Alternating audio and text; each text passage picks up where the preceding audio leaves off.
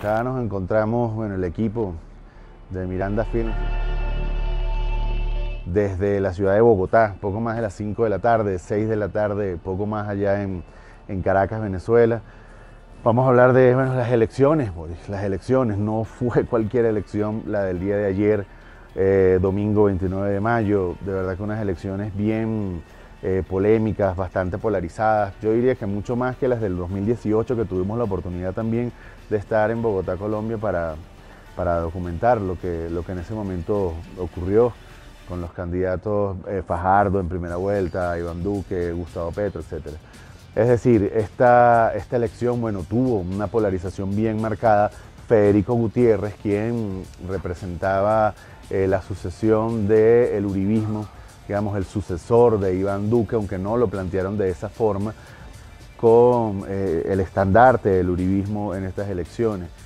Gustavo Petro, bueno, lo derrotó, casi le duplicó eh, eh, en votos. Gustavo Petro, digamos, un candidato de izquierda que viene haciendo una cantidad de propuestas eh, y una cantidad de reformas nunca antes realizadas en Colombia. Vale destacar que nosotros hemos venido analizando decenas de horas de video, decenas de discursos de las propuestas de la campaña de Gustavo Petro en este año 2022 y realmente estamos, bueno, un poco impresionados, la verdad. Eh, ahora entendemos más por qué ahora tiene Gustavo Petro estos, eh, estos hombres a, su lado con escudos blindados, como eh, igual que Francia Márquez. efectivamente, mire, ellos están haciendo una propuesta de transformar eh, eh, la sociedad colombiana, la economía colombiana, uno, eh, hacer una reforma financiera, hacer una reforma de la banca, pasar el dinero que está depositado, el dinero del Estado que es para pensiones, está depositado en la banca privada generando intereses, generando solamente dinero para negocios de los banqueros. Gustavo Petro está proponiendo cambiar esto. Eh, tenemos también eh, la propuesta de la reducción del tiempo para pensionarse.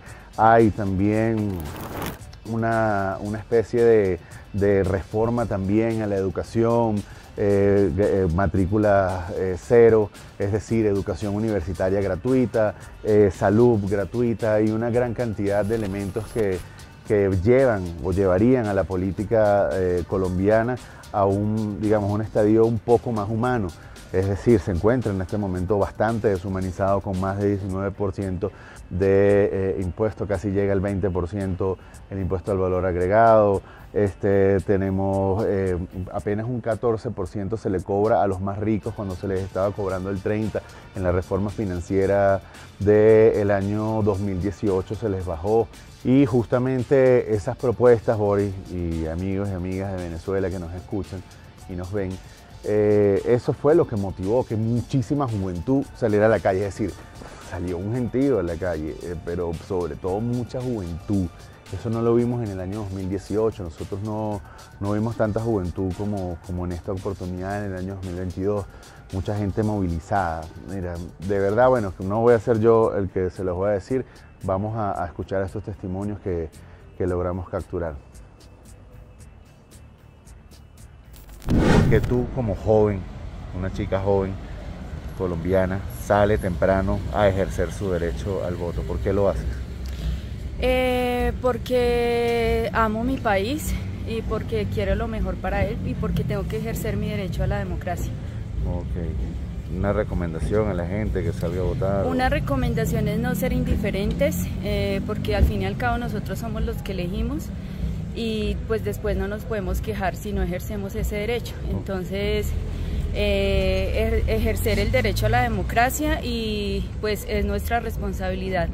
Definitivamente Colombia sí necesita un cambio, eh, se necesita un gobernante que piense eh, en, en, recuperar el campo, porque si no se, si no hay un gobierno que piense en los campesinos, pues todos sufrimos las consecuencias. ¿Te parece que hay algún candidato que, esté proponiendo seriamente?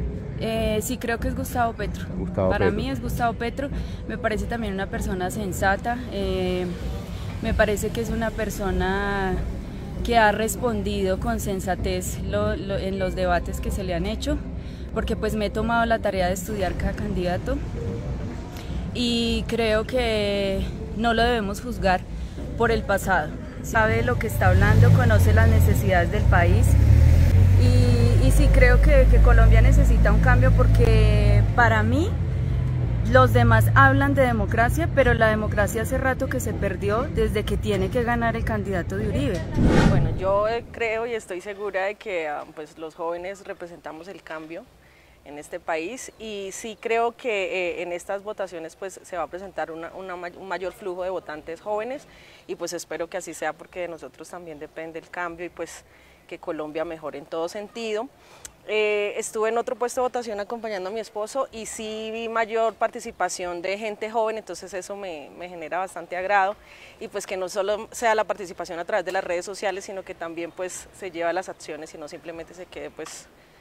Estoy completamente segura de que sí hay un, eh, un un postulante que, que, representa ese cambio. Eh, muchos de los jóvenes pues estamos a favor de ese candidato de Gustavo Petro, sí señor. O sea, ¿tú estás a favor de Gustavo? Sí, yo voté por Gustavo Petro y pues espero que como yo muchos otros jóvenes hayan votado por el cambio y la nueva esperanza de, una nueva Colombia.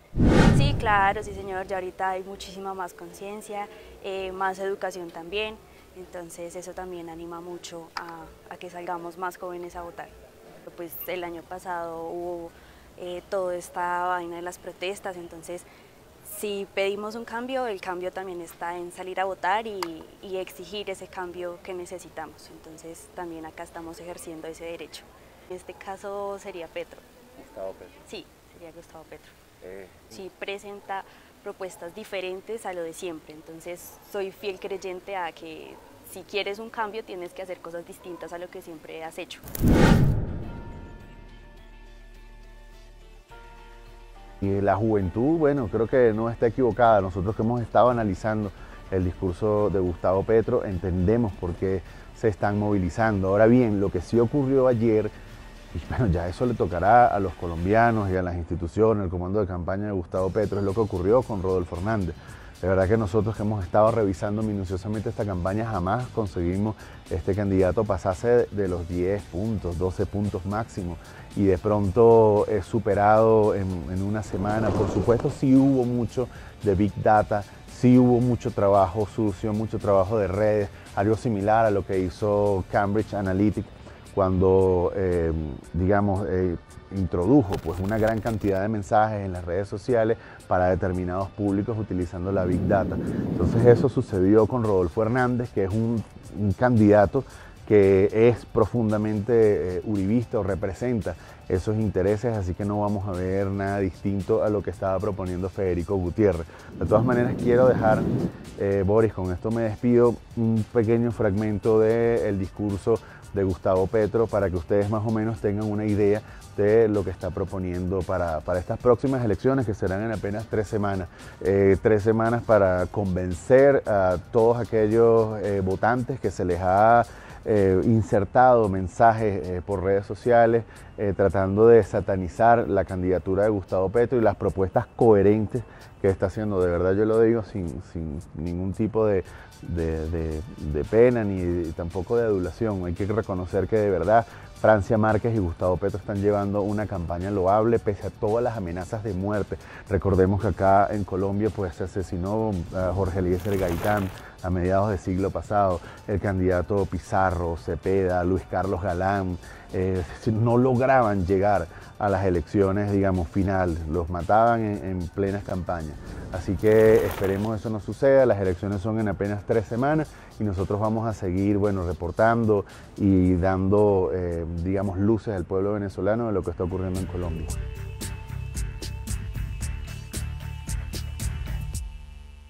Nosotros lo que queremos aquí es justicia social. Que el viejo y la vieja sabia tengan pensión y que todos los niños y niñas de Colombia tengan nutrición leche, carne, ¿por qué no? Y que el conjunto de la sociedad pueda tener salud a través de llevar los médicos a la casa. ¿Por qué no? Que toda nuestra juventud, si es que queremos una nación grande en 20, 30 años, que compita entre los pueblos del mundo, pueda acceder a la educación superior y a la universidad. Esos propósitos son fundamentales para la sociedad colombiana y yo le solicito a la mayoría de esta sociedad colombiana que no sigamos como estamos, que no nos hundamos más en la violencia, en la corrupción y en la injusticia, que no demos un salto al suicidio, que es el tiempo de la vida, no del suicidio, que el cambio es por la vida, porque lo que buscamos es una Colombia potencia mundial de la vida, así que estamos a un millón de votos de ganar. Un millón de votos más de estos ocho millones y medio de electores. Si esta cifra cambia el 8 por un 9, ganamos. Cambiamos a Colombia.